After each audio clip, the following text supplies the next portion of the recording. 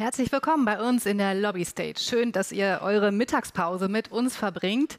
Und es geht bei uns jetzt um äh, das absolute Querschnittsthema hier auf dem Festival KI. Und Julius Friedrich ist bei mir. Schön, dass du da bist, Julius. Danke. Julius ist äh, Projektleiter des Hochschulforums Digitalisierung am Zentrum für Hochschulentwicklung und hat das HFD auch mit aufgebaut. Äh, und äh, er ist jetzt heute vor allen Dingen in der Funktion her, dass er auch den Monitor äh, Digitalisierung 360 Grad mit begleitet und betreut. Das ist eine quantitative Studie, die die Entwicklung zur Digitalisierung an den Hochschulen sichtbar macht. Das ist jetzt gerade in der zweiten Runde. Ne, ihr seid jetzt, glaube ich, gerade mit der Befragung äh, am Ende und wir haben jetzt tatsächlich sozusagen exklusive Einblicke in Zahlen, die noch nicht veröffentlicht worden sind, zum Thema äh, KI, wie es an den Hochschulen aussieht. Vielleicht noch mal ganz kurz zum Monitor. Habe ich das richtig verstanden mit der Erhebung? Ja? Genau, ja. ziemlich genau. Ich habe sozusagen einfach mal aus, wie sag mal, aus der Versenkung ein paar Zahlen mitgebracht, weil wir ähm, haben die zweite Auflage gemacht. Ähm, der Monitor ähm, ist gelaufen, also die Umfrage bis Ende März, also sozusagen relativ frisch noch. Und das Besondere am Monitor ist, ähm, der heißt auch Monitor 360 Grad. Warum heißt der 360 Grad?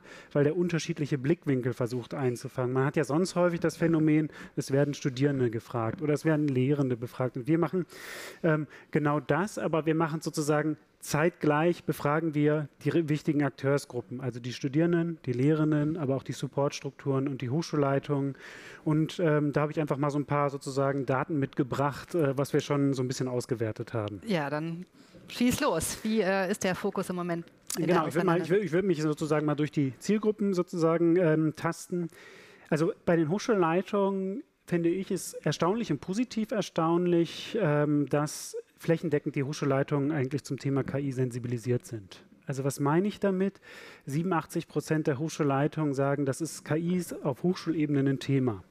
Ähm, und ähm, was passiert da konkret? Also viele berichten von hochschulweiten Austauschprozessen, die stattfinden. Ähm, äh, aber es passiert auch viel, dass ähm, Richtlinien entwickelt werden. Also wie gehe ich eigentlich mit KI um? Und ähm, thematisch im Fokus ist bei Hochschulleitung auf Hochschulebene dann das Thema Prüfen, aber auch so ein bisschen die Frage akademisches Fehlverhalten.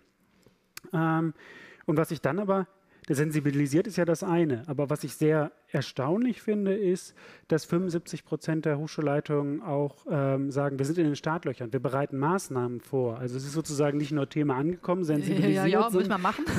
müssen wir mal machen, mhm. sondern es scheint wirklich Aktivität da zu sein. Und wenn man das mal, vielleicht noch ein kleiner Exkurs, sich überlegt, ähm, KI ist als großes Thema in die Hochschulwelt gekommen, eigentlich erst vor anderthalb Jahren, mit dem Ausrollen von ChatGPT. Mhm. Davor war KI eigentlich ein Thema, das hat immer stattgefunden, sozusagen. Es gab Pilotprojekte, es gab Einzelinitiativen, aber das war nie auf Hochschulleitungsebene und in der Breite. Von daher finde ich das schon erstaunlich, was jetzt in anderthalb Jahren dann auch passiert ist. Also das vielleicht mal ähm, zu den Hochschulleitungen und ich würde ganz kurz vielleicht nochmal zu den Studierenden und Lehrenden was sagen Gerne.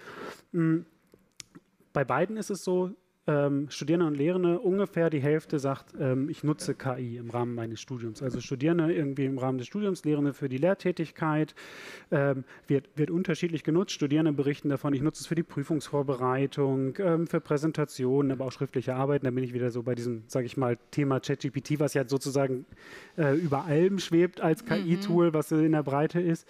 Ähm, was aber auch Studierende ähm, was auch ein Phänomen ist, wir haben einerseits 50 Prozent Nutzen ist, wir haben aber von den Hochschulleitungen die Info, nur 33 Prozent der Hochschulen gibt es Lizenzen.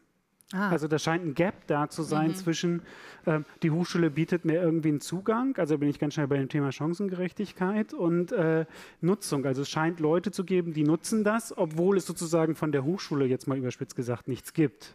Mhm. Ähm, und was, was bei den Studierenden auch rauskommt bei der Antwort, KI als Thema KI-Kompetenzvermittlung im Sinne von, gibt es da Studieninhalte, die mich an KI-Kompetenzen ranführen, ist eher noch die Ausnahme als die Regel. Ähm, aber da reden wir natürlich auch irgendwie über Prozesse wie Curriculumsentwicklung und so weiter, ist natürlich jetzt auch irgendwie nicht das, das einfachste Brett, was man vielleicht am Anfang bohrt. Ähm, mhm. Und was ich vielleicht nochmal bei den Lehrenden als letzten Punkt herausheben will, ist, wir sehen, Lehrende bilden sich fort, und ich schiebe jetzt hinterher und das trotz Zeitmangel. Das also, wollte ich gerade sagen, das ist also, ja meist das Problem. Also, ne? der, Lehrende ist ja immer das Problem. Ich äh, bin ja. in diesen beiden Welten unterwegs, lehre Forschung, so ich muss da eh schon, oder ich bin noch Mediziner, dann habe ich noch den Dreiklang mit der Klinik. Äh, und, aber die Lehrenden bilden sich fort. Das ist, ist Bei ja dem sehr, Thema sehr, ist das so, sehr, ne? sehr, sehr, gut und positiv. Also es, mhm. wir könnten ja auch andere Effekte sehen, sehen wir aber nicht so. Mhm. Das vielleicht so mal als Schnelldurchlauf durch die Daten. Ja, super spannend. Äh, jetzt hatte ich vorhin schon so äh, gesagt, du bist so für mich so ein bisschen der Jörg Schönborn der Zahlen, ja, der hier irgendwie uns darstellt. Aber du bist ja auch noch mehr, weil du schreibst ja auch Positionspapiere, du hast ja auch Ideen, was können wir jetzt mit diesen Zahlen anfangen, äh, was leiten wir daraus ab? Was ist denn deine Einschätzung? Was muss auf Basis dieser Erkenntnisse, die ihr da gewonnen habt, jetzt passieren an den Hochschulen? Also ich glaube, und da erzähle ich wahrscheinlich den meisten nichts Neues, wir leben in einer KI-geprägten Welt. So. Also KI ist da, KI-Tools werden nicht mehr verschwinden, bestimmen an unterschiedlichen Bereichen un unsere Lebensrealität und, und, wie wir arbeiten. Ähm, und ich glaube, dementsprechend muss das Thema auch flächendeckend als äh, irgendwie Lerninhalt äh, in die Hochschulen, also ich muss als Student irgendwie bei, bei der Entwicklung begleitet werden. Was meine ich damit? Also ich, ich glaube, alle Studierenden brauchen ein Grundverständnis davon, wie wirken so KI-Tools? Was, was können die, was können die auch nicht? Weil, also ähm, es ist ja ein Trugschluss, jetzt irgendwie zu sagen, ich prompte da mal was rein, nimm dieses Ergebnis, egal ob es für eine Hausarbeit ist oder für was auch immer, das ist ja nicht, das ist ja nicht Wikipedia, da kommt ja keine Wahrheit raus. Mhm. Das ist sozusagen ein Wahrscheinlichkeitsmodell. Und solche Sachen muss einfach jeder wissen und verstehen, damit ich da irgendwie auch wirkungsvoll mitarbeiten kann und das anwenden kann. So, das ist, sag ich mal, so eine generelle KI-Kompetenz, die, glaube ich, am Ende des Tages irgendwie jeder braucht. Und an vielen Stellen stellen sich dann aber fachliche Fragen auch. Also das ist dann eine fachliche Frage. Was bedeutet das eigentlich für die Medizin? Was muss ich da in meinem Medizinstudium eigentlich Klar. mitkriegen? Und jetzt habe ich sehr viel über Inhalte gesprochen, aber ich glaube, was auch ein Riesenthema wird ähm, und noch verstärkt wird, wir reden seit Bologna über Kompetenzen. Studium soll kompetenzorientiert sein. So, und ich überspitze jetzt sehr und bin sozusagen, mache es äh, sehr in der Zuspitzung. Und es gibt Studiengänge, am Ende des Tages ist die Kompetenzprüfung, ich schreibe eine Multiple-Choice-Klausur.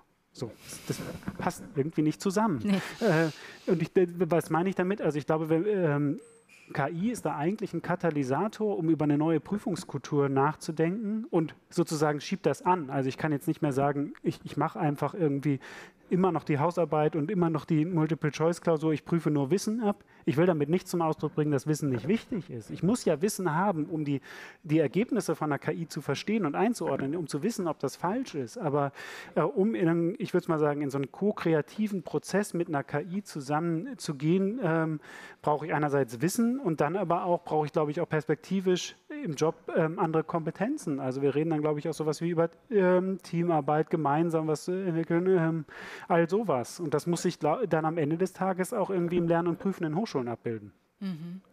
Und du hattest vorhin auch schon dieses Thema Chancengerechtigkeit äh, angesprochen, scheint ja dann tatsächlich da auch virulent zu sein, ne? oder, oder kommt was auf uns zu vielleicht?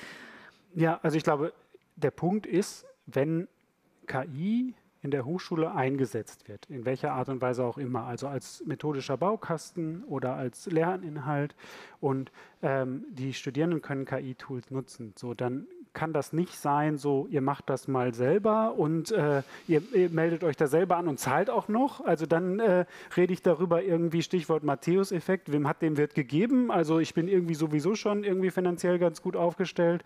Äh, dann kann ich auch irgendwie diesen ganzen Methodenkoffer an KI-Tools nutzen. Ähm, ich glaube, wir müssen dann sehr stark auch darüber nachdenken, wie, wie können stärker Hochschullizenzen oder was auch eine Entwicklung ist. Das eine ist ja, ähm, viel diese amerikanischen Systeme, die kostenpflichtig sind, aber es ist ja leider auch erst im Entstehen, aber auch Open Source Alternativen, ähm, dass äh, irgendwie Leute das ganz anders nutzen, weiterentwickeln können. Und ich glaube, da ist einfach noch viel Bedarf und viel Luft da. Mhm. Und das ist, finde ich jetzt aber auch, wie gesagt, wenn wir nochmal sozusagen zum Anfang springen, seit anderthalb Jahren ist das ja. Thema überhaupt in der Breite, ist das jetzt, glaube ich, auch, aber wäre nicht meine Erwartungshaltung, dass ich hier Stand heute erzählen könnte, wunderbar, ist irgendwie alles Job ist dann.